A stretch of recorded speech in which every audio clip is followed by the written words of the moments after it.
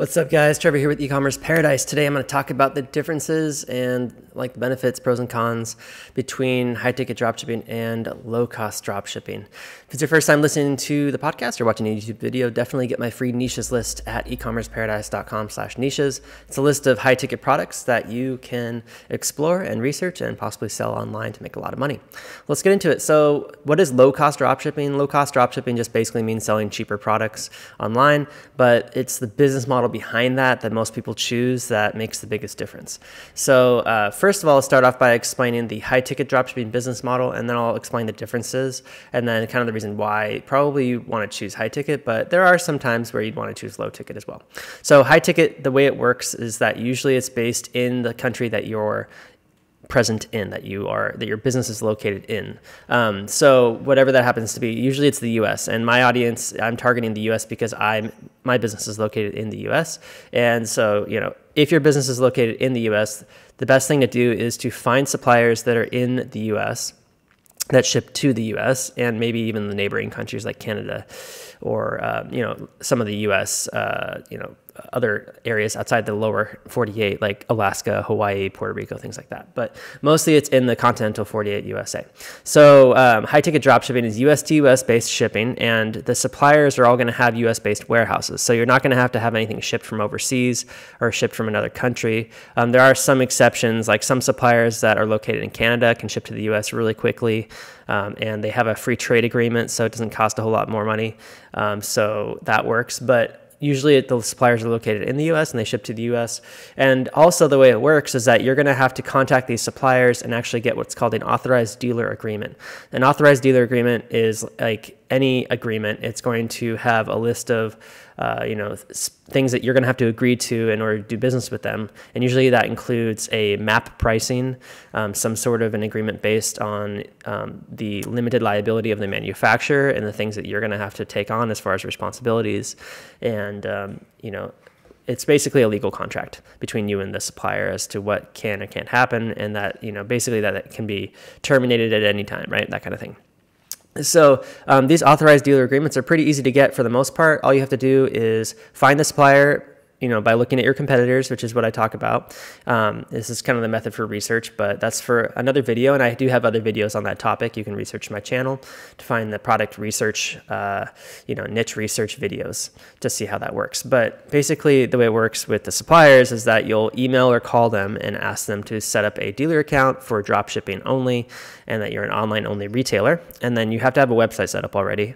Um, obviously, that you can't. Well, I mean, you can do it. You can't ask them without a website, but it's less likely that they'll approve you without a website. So it's good to set up a website, and you should not try to just set up a website like on eBay or Amazon or um, some kind of free website builder. You should use a professional website builder like Shopify. I recommend Shopify, and you should also set up a domain name like a .com domain name for your store, uh, some kind of a branded domain name with a niche keyword in it. And um, basically, you just email them. They'll give you a legal contract to sign and fill out, a price list, um, you can ask for an inventory sheet. You can ask for high quality images and videos, things like that. And um, when you get all that that uh, information from them, what you'll be able to do is you'll be able to list all their products on your website, and then you basically can use any of their images for marketing purposes and any of their videos for marketing purposes too. So you can repurpose all their stuff. You can, uh, you know, basically just copy and paste it, or you can, you know, kind of customize it with your own logo and your own like, you know, added branding and stuff like that. And um, usually, you know, obviously they're not going to care. They're going to want you to do that because it's going to help you sell stuff. And if they really understand the true nature of online business and online marketing, they'll really appreciate that you're helping to expand their brand to a wider audience. Because as a brand, usually they're going to want to be in as many marketplaces as possible that it makes sense to be in. Um, some of these brands will, will not want you to sell on Amazon or eBay or Houzz or Walmart or you know other marketplaces out there big marketplace, broad marketplace websites, some that allow like auctioning and some that just, you know, basically pit one seller against another. Um, but if you are a uh, niche site, then it's very likely that they'll approve you because that's the kind of site that they want to be on is a niche site in their niche. So that's the high ticket dropshipping business model. And the key difference is, is that you're going to be an authorized dealer of these brands. So there's not going to be any issue with trademark infringement. So now I'll now get into the low cost because low cost, uh, you know, and there's, there are more differences than that, but low cost dropshipping, that's kind of the main thing. With low cost dropshipping, most people are doing is they're finding a supplier in China or another overseas location where the, the product costs a lot less than it does in the US, where there's very high margins. So with high ticket, since it's US to US, the supplier has already imported the product to their warehouse and they have to fulfill it and there's a lot of overhead there. So the margins are going to be quite a lot quite a bit less for you. Usually it's somewhere between 50% uh, before shipping to all the way down to like 20% before shipping. And then um, after shipping costs usually it's like somewhere between 10% and like 20 or 30% that's just mostly what i found with high ticket drop shipping. With low ticket drop shipping um, it can be all the way up to like you know a thousand percent margins. So, you know, you could find like, for instance, like a dollar product and resell it for like 30 bucks. That would be a 3000 percent margin. But um, the margins can be really, really good. And, um, but what's going to happen is you're going to be taking a lot, a lot more risk and you're going to have to do a lot more marketing and the fulfillment cost is going to be a bit more as well. Now, the key with low cost is that usually you want to find products that are very, very small or cheap to ship. That's going to be the main thing. And it's kind of the same thing there with high ticket too. High ticket, you really want to find products that are less expensive to ship because shipping costs can really eat your margins up like crazy.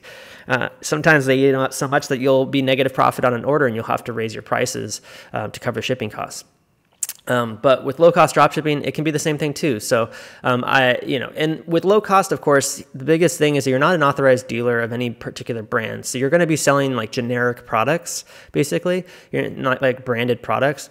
Um, and there are um, some caveats. Like I'm sure there are some brands that actually do have like warehouses in China and will do an authorized dealer agreement and ship from China to the U.S. And you know, maybe you could set it up that way. But the biggest thing here is the risk involved because you're selling a physical product. Um, returns cannot be uh, managed by that Chinese supplier. They will not be. They just won't accept them. So usually, like I would say, almost 100%, 99% for sure will not accept returns. What they'll usually do is they'll give you if there's like obviously a damage that was a warranty issue, like the product doesn't work, you can uh, make a note of that, send it to them with proof, and then they'll give you a credit to use off towards future purchases. That's usually how it works with manufacturers in China. So, uh, but you're going to be responsible for accepting those returns back if you want to. So the cool thing about low cost dropshipping is each order, the products cost a lot less. So if there is a big problem with that product, then obviously you could just tell the customer to keep it because uh, it's not a big deal. Um, and hopefully you're doing a lot of volume. Like if you're selling, like let's just say a $10 product, or let's just use that example of $30 because that's pretty common, I think, 30 to $50 product.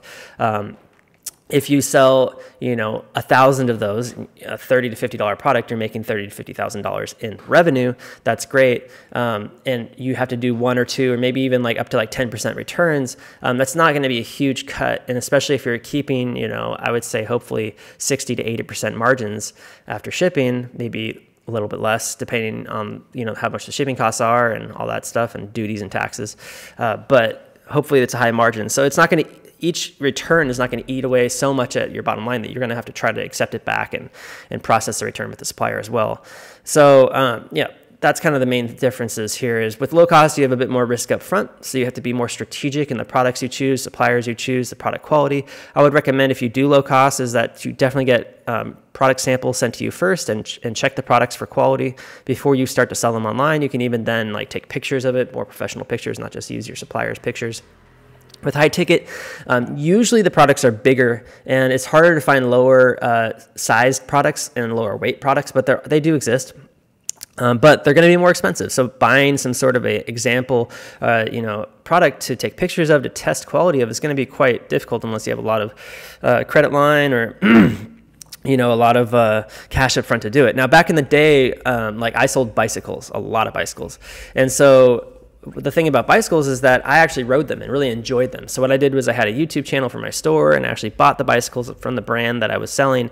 And what I would do is I would make assembly videos and I would make review videos and I would make videos of me riding the bikes around. And it actually really helped sell the products. Um, it was free organic traffic through YouTube. And um, I still get sales today because I actually do affiliate marketing um, for my old YouTube videos. I link to Amazon and I get commissions still for those same bicycles. So, um, but you know, that's what you have to consider is like, are you actually passionate about that niche you're going to be in if you're doing high ticket dropshipping? Because if you're going to buy that product, uh, it definitely needs to be something that you already know how it works, you know, like everything about it so that you can just go and make a video. If it's a niche where like you bought the product and you would have no idea how it worked and you have to read the whole manual and just like learn a bunch of stuff, um, you're going to have to climb a much bigger mountain uh, in order to be able to do that. So just be ready for that.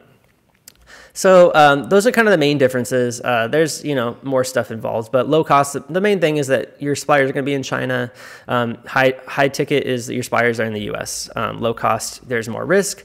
Uh, high high ticket there's also risk you know but your suppliers can take back returns. That's the main thing. And don't work with suppliers that can't take back returns. And if you do um, just be ready to like somehow store this high ticket product at your house or at a fulfillment center somewhere um, and try to resell it on ebay if there happens to be someone who just like isn't happy with the quality of the product or something.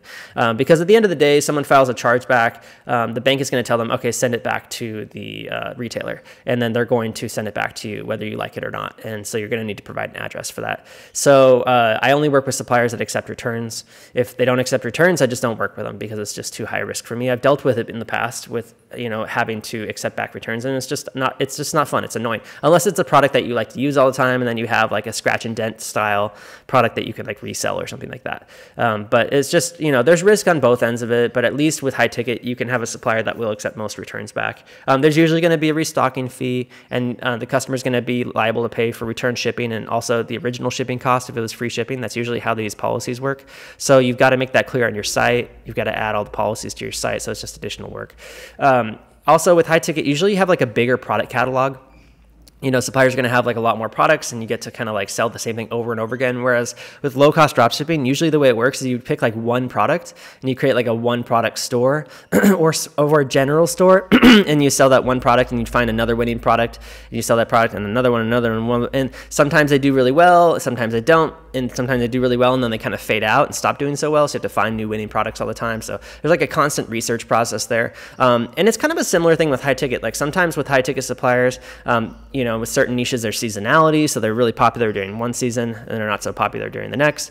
And sometimes there's things like um, uh, fads where like you know a certain entire niche will be extremely popular for a few years running and then all of a sudden not so much and then it'll come back. And uh, so there's all sorts of things in both of these business models that you have to look up, out for and stuff. But um, here's the thing. With high ticket the main differences is that um, you're working with brands like trademark brands. And with low cost you can't. So i mean you can but like usually you're going to be selling generic products from the supplier in China, meaning the supplier in China will probably, will definitely will uh, private label their product. So if you wanted to and you found a winning product, you could create your own brand and then have them add your brand label to that product. And a lot of people do that, and that's definitely the way you should go.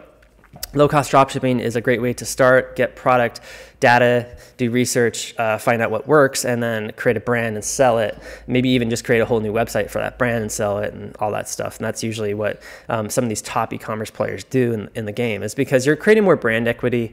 Um, you're kind of creating a moat around your business that way. You can get a trademark for your business, um, even if it's like a, a special custom designed product. Um, you can get you know all sorts of protection that way. Um, so uh, you know it's definitely the way to go. And with high ticket, it's also the same. If you're if you're doing high ticket drop shipping, you find a brand or a product that does really really well, you can ask ask them if they'll be willing to help you private label that product, put your own brand on it, and even like house it and fulfill it for you. Um, you know, the product itself doesn't have to have the logo on it. Maybe they'll just ship out a generic version of their product and slap your sticker, put your pamphlet in there, or, or, it doesn't even matter. You know, they don't even have to do that. But if they did, that's even better. So, um, you know, there's different different ways. But dropshipping usually, um, it's a great way to be location independent. But it's not like the end all. You should definitely look into private labeling, and I'm going to make a separate video on that and why it's not necessarily better, but it's definitely a way to go beyond what you're already doing with dropshipping.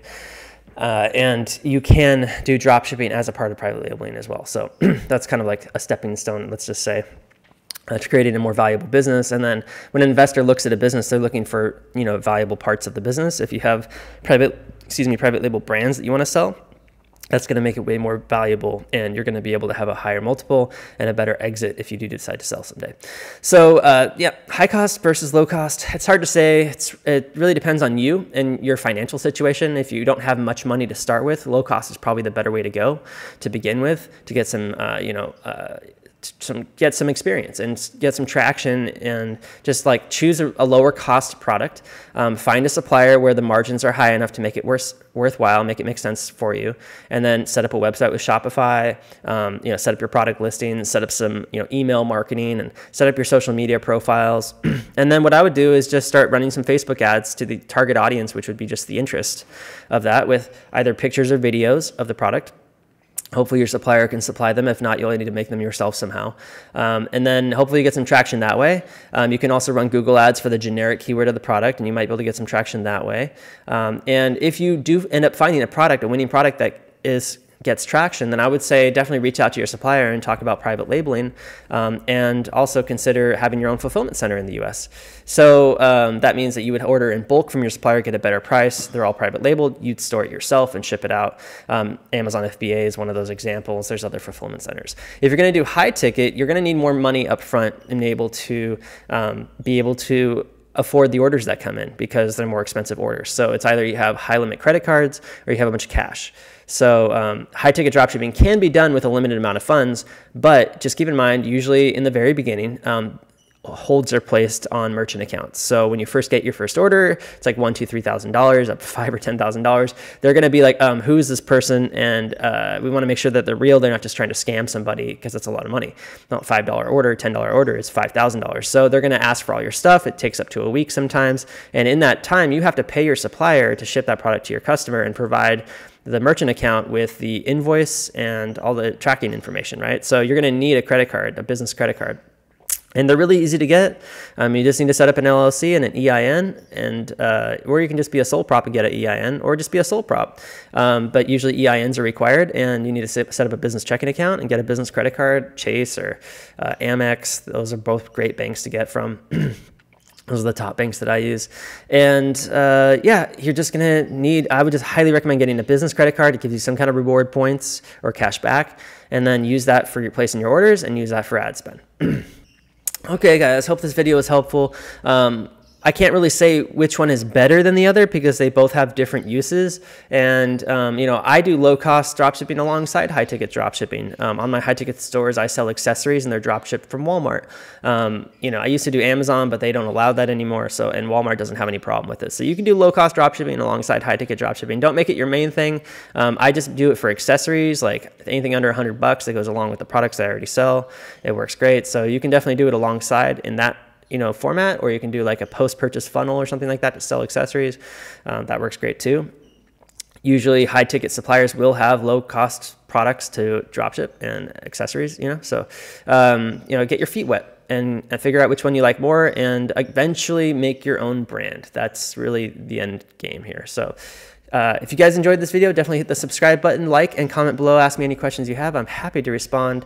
And definitely reach out to me um, if you are interested in taking advantage of any of my services at ecommerceparadise.com. I have the turnkey service, I have ad management, SEO services. Um, I have virtual assistant recruiting services and lots of other stuff. And check out my high ticket dropshipping masterclass, which is a 35 module course.